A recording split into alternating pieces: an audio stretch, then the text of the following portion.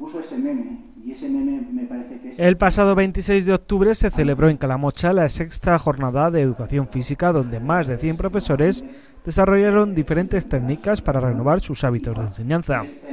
Este encuentro viene precedido tras el que se celebró hace un año en Alcorisa. La sexta jornada de formación de la Asociación de Docentes, que además aprovechamos para hacer una asamblea anual. Aquí somos todos profes de educación física que estamos en el patio todos los días y hoy celebrábamos una jornada en torno al trabajo globalizado, trabajo de proyectos, en torno al área de educación física. A la inauguración de la jornada asistieron, además de los propios docentes, varios concejales del Ayuntamiento de Calamocha, el alcalde y el director general de deporte del Gobierno de Aragón.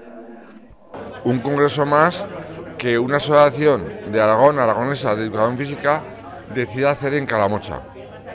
¿Y eso por qué es? Pues imagino es porque Calamocha apuesta por los congresos, Calamocha apuesta por la educación, Calamocha apuesta por la actividad física y deportiva. Así que yo creo que reunimos los requisitos y además damos todas las facilidades que, se, nos, que se nos requieren y qué mejor sitio que Calamocha para realizar jornadas, congresos, no hay mejor sitio. De la educación física también se fomentan los valores y evidentemente yo siempre digo que los profesores de, educación física son, los, son el motor también muchas veces de, los propios institutos y de los colegios, ¿no? son ellos los que proponen actividades, incluso pues, modifican eh, proyectos educativos para que los hábitos saludables se, se fomenten a través del deporte.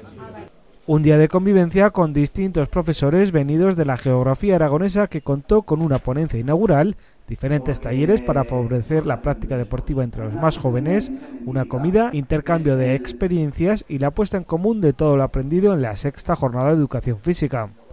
De esta jornada salieron además numerosas ideas y propuestas para llevar adelante en los colegios e institutos de nuestra comunidad, así como técnicas novedosas para estar cada día más saludables en las aulas.